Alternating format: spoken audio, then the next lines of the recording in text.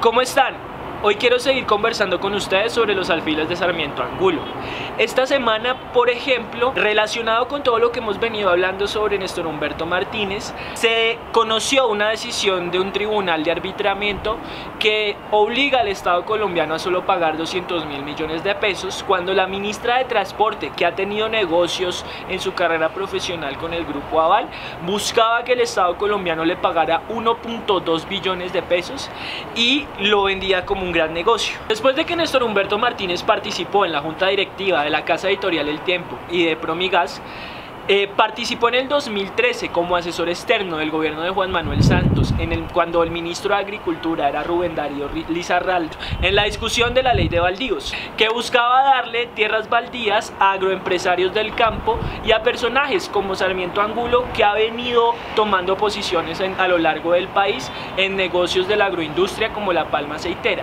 De hecho, Rubén, Rubén Darío, el ministro, le tocó renunciar precisamente por el conflicto de intereses que implicaba su ministerio frente a sus relaciones con la Federación de Palmicultores de Colombia. Durante todo el 2014 y parte del 2015, Néstor Humberto Martínez participó en el gobierno de Juan Manuel Santos como superministro. Era un trío entre Juan Manuel Santos, el presidente, Germán Vargas Lleras, el vicepresidente, y Néstor Humberto Martínez como el funcionario de Luis Carlos Sarmiento Angulo en el gobierno anterior. Como superministro, puso su firma en el COMPES de la concesión Ocaña Gamarra que también estuvo cargo de Odebrecht. Teniendo conocimiento de las maniobras corruptas, de los sobornos, teniendo conocimiento de lo que Francisco Pizano ya le había dicho años antes cuando fue abogado y estuvo encargado de todas las negociaciones de la concesión de la Ruta del Sur. En junio del 2015, Néstor Humberto Martínez renuncia a su cargo como superministro del gobierno de Juan Manuel Santos para postularse como fiscal general de la Nación. Después de hacer todo el lobby, de pagar eh, favores, llegó a ser fiscal general de la Nación a partir de agosto del 2016 y fue fiscal hasta mayo del 2019. Después de haber saboteado el proceso de paz con las FARC, después de enterrar todos los procesos en los que su jefe, Luis Carlos Sarmiento Angulo, estuvo involucrado, sobre todo en la trama de Odebrecht, y después de haber hecho hasta lo imposible para que la muerte de Francisco Pizano y de su hijo quedara en la impunidad. Ahora concentrémonos en Alberto Carrasquilla, otro de los alfiles de Luis Carlos Sarmiento Angulo ya fue ministro de Hacienda. En el 2003, como ministro de Hacienda de Álvaro Uribe Vélez, vendió tres bancos públicos a diferentes intereses privados. Vendió el Banco Bancafé al Grupo Bolívar, que son los dueños de la vivienda. Vendió el Banco Megabanco al Grupo Aval. Y vendió también el Banco Gran Ahorrar a la transnacional española BBVA.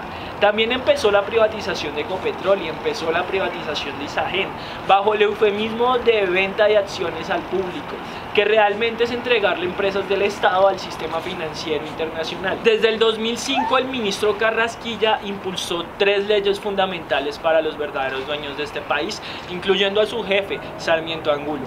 Una ley de reforma pensional que benefició al Grupo Porvenir, una ley de zonas francas que benefició a terratenientes y a los hijos de Álvaro Uribe Vélez, Tomás y Jerónimo, y una ley de estabilidad jurídica que está en función de proteger los intereses de los dueños de los negocios y no los intereses de los trabajadores. En 2007, Alberto Carrasquilla renuncia al Ministerio de Hacienda de Álvaro Uribe Vélez y vuelve a ocupar el ministerio solo hasta el año pasado con Iván Duque.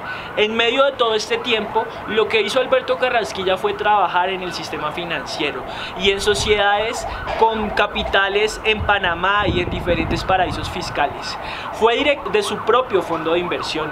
Y también trabajó con un fondo buitre que se llama Configura Capital, que le compra cartera mala a diferentes bancos y a diferentes fondos, entre esos a sus amigos y a sus jefes, como el Grupo Bolívar, como el Citibank y también como el mismo Grupo Recuerden que Alberto Carrasquilla eh, también modificó la legislación colombiana para facilitar el endeudamiento de los municipios con el sistema financiero supuestamente para construir acueductos, lo que desde hace muchos años se conocen como los bonos Carrasquilla.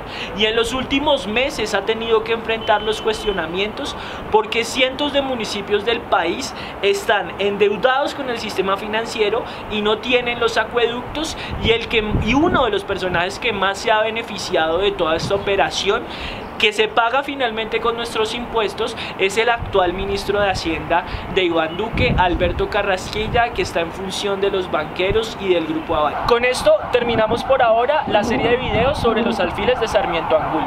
Espero sus comentarios, sus preguntas y por favor, si esta información les parece importante, compártanla y síganme en mis redes sociales.